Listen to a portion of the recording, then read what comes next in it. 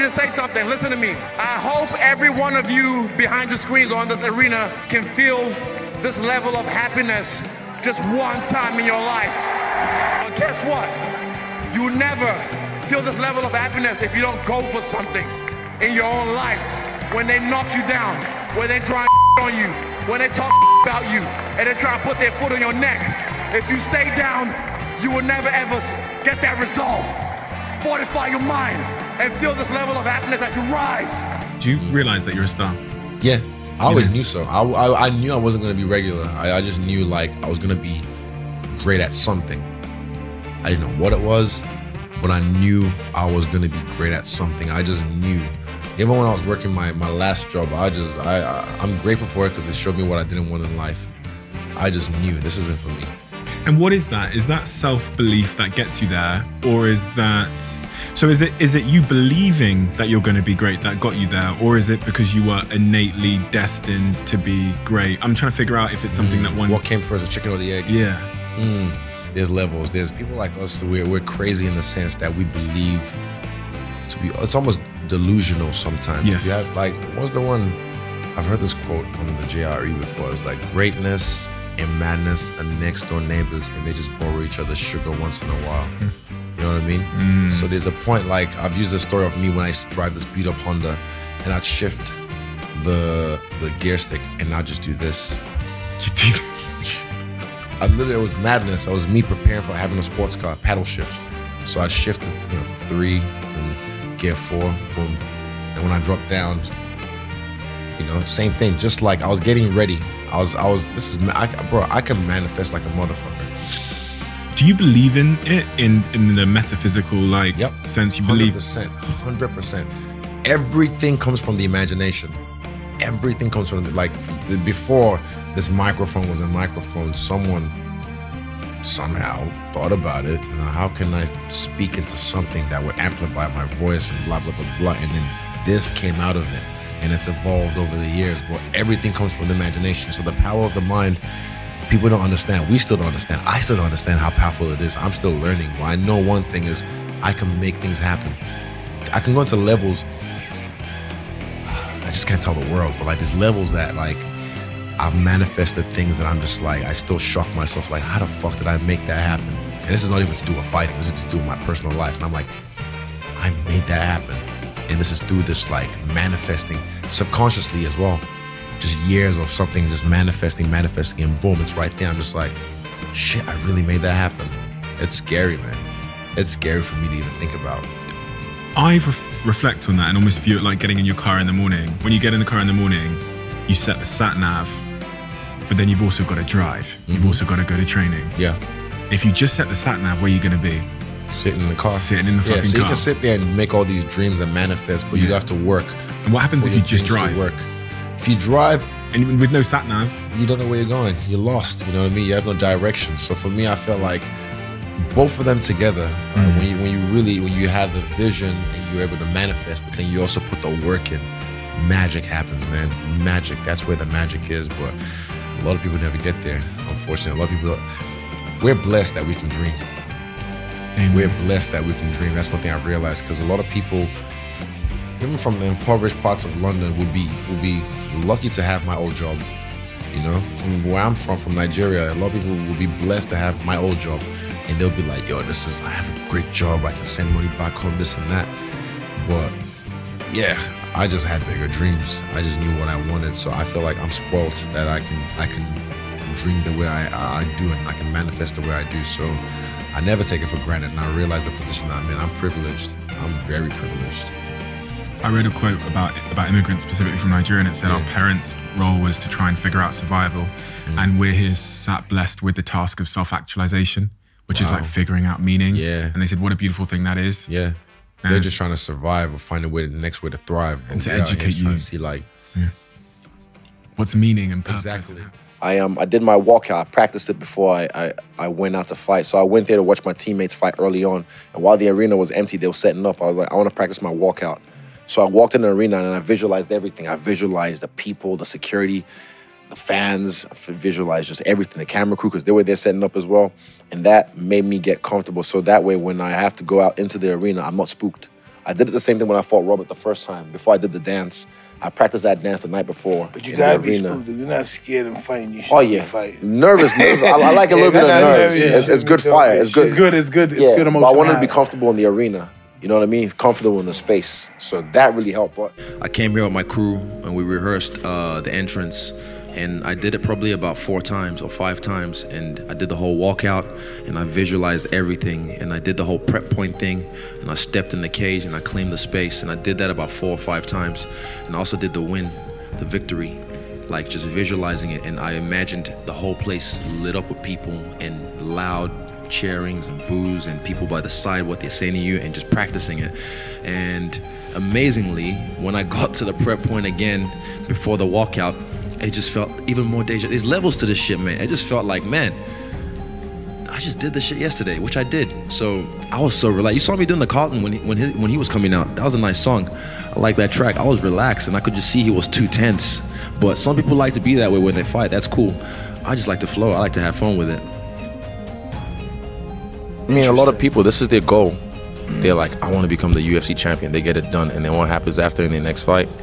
They lose it, or Right. they lose sight tr- track of what really matters. It's, it's harder to stay champ than it is to be champ. This is pe- most people's like they've clocked the game, and then you see a lot of people just fall off after this. Then they, they don't have that because they've done it. They've done what they wanted to do, what they set out to do. I've done one thing that I set out to do, which is become the UFC champion. Now it's about defending that actively, not like fight twice a year. You know what I'm saying? Like a lot of people just expect it's, it's, it's different. I, I'm I'm gonna do what I'm gonna do. I'm gonna run my own legacy, not like anyone else or compared to anyone else. I'm gonna run my own legacy and, and what are you gonna carve my own way. But I know for a fact I'm the best in the world. I've proved, I've said this before, over and over and over and over again, until it's just tiring. I said it before I even got in the UFC. I feel like the best. I know I'm the best, but no one's listening, and I didn't care. Fuck the rest. I just had to do me. So, again, what are they gonna say now? Wait till he fights. Wait till he fights. no, no, no," And go on their fucking phones and talk shit. And some of you might as well. But hey, guess what? I'm proving myself right. I don't have to prove you wrong. I'm proving myself right every fucking time. Thing is, I, my, my brain wants to move forward because I did it in kickboxing because I was undefeated for so long. So it was always like, all right, cool, what's next? I'll watch the fight maybe once, study it, all right, what's next? But now I have to like chill, relax, look at the tape, look at what you've done, and then soak it in, smell the roses for a little bit, and then move on. Because once I had my first loss, I, I took winning for granted because it was just a habit. I was always winning, always winning, always winning. So now I have to like, when you win, when you do something amazing, like I did in Atlanta, like I did in Melbourne, just chill, smell the roses, and then move forward. People, every time I've said something, I said I'm the UFC middleweight champion from my UFC debut. You just don't know it yet. I did that from my UFC debut, and I did my before my my UFC debut. I said I was gonna fight Robert Whitaker for this belt in 2019, and I did. I said I'm gonna beat Jon Jones 2021 Raider Stadium International Fight Week, and I will. Every single time I say something, I always find a way. There's a method to my madness. I put it out there in front of the world, so that way, I do everything in my power. My subconscious does everything in its power to make it happen. If mm-hmm. not, then I have to eat my words, and I don't like doing that, you know. So I make them eat their words every single time. Well, to G myself up sometimes, if you ever feel, you know, down, sometimes you look at yourself and you give yourself positive affirmations. That was something I used to do every morning. Um, but also therapy. After my first UFC fight, like straight after I got home, I was like, hmm, I need to go see someone about this. Cause No way, really. Yeah. I mean, like, think about it like coffee. You know, if you drink coffee, right, hmm you get a, a coffee high, and then you crash. So it's like after my first UFC fight, UFC 221 in Perth, it was just a lot of stimulus, a lot of people coming at you. And then when I was finally home alone with my own thoughts, I was just like, it was like a crash. It was like I was sad, and I was sad for like a week. And I was like, why am I sad? I just made my UFC debut in spectacular fashion, made mm-hmm. 50k bonus. Mm-hmm.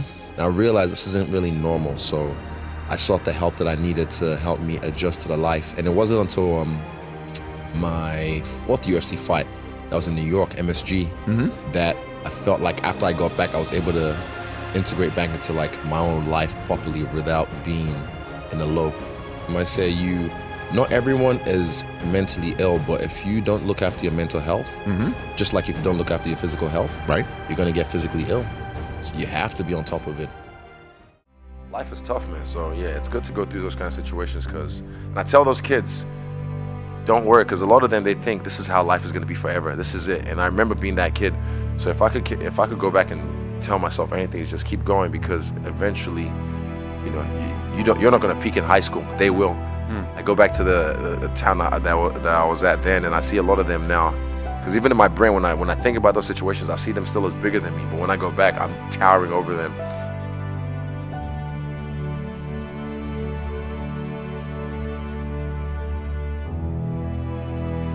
I like to be with my own thoughts. A lot of people don't like to be with their own thoughts because they don't like what's happening up here.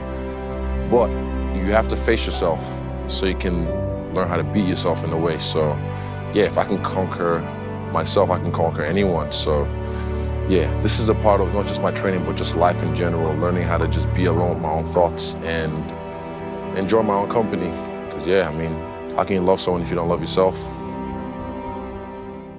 When they see me shining and they see how I'm working, they're like, I, you know why I recognize jealousy in other people? I used to be that guy. Yeah. I used to, I wouldn't say hate everyone, but there was one of my friends, I saw my Instagram the story, who I was jealous of because he was working in the mines, getting like 2,500 a week. And he was telling me, this is when I just moved to Auckland. He was telling me, come through, get some work. I'll, I'll look after, I'll make sure you get this job and get on the same pay as me. And after a while, I realized I stopped like fucking with him or like texting him back. And I didn't realize, I was like, why, why am I jealous? And I realized it's not, it's nothing to do with him. He's not taking anything It's away from me. Yeah. You know? So once I identify the monster, I can kill it. And now when I see it in other people, it's so easy to smell.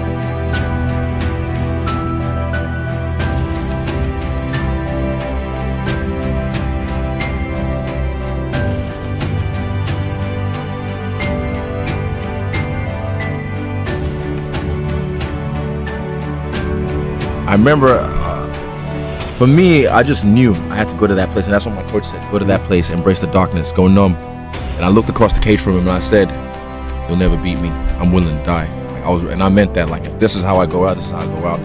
And I, uh, dude, I put lead foot down, uh, foot on the pedal, and even when I watch the fight again, when I watch the fight again, I get sweaty palms, my heart's racing, I feel the emotions, and I was surprised, like the pace I put after doing what I did for already what, 20 minutes.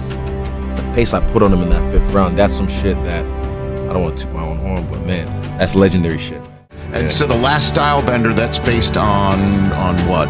It's based off uh, a TV show I, I watched, The Avatar. It's a Nickelodeon show. Okay. And Aang, the main character, he had to realize his destiny as the Avatar by mastering all the four elements, which is water, earth, fire, and air, to realize his destiny. And for me, in this in this realm, I have to realize my destiny as the Avatar by mastering all the elements of the of of martial arts. So, a lot of stuff in that show as well kind of correlates with my life with different characters.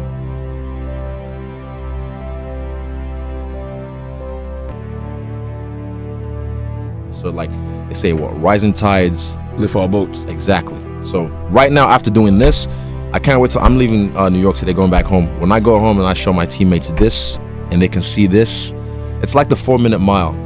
I heard um, within the first year when it was broken, four other people completed it. So now they can see this is real. That oh shit, and they know me. They know I'm a, I'm a piece of shit. Like a lot of times, I'm, I, you know, I fuck up. You know, I'm late. I show up. I, I work. Don't get me wrong, but like I, I'm like Naruto. I'm a very uh eclectic student. But then for me to have this, they'll be like, man, if he can get that, then I can step my game up as well. So I'm hoping I just inspire my team to, yeah, let's get this.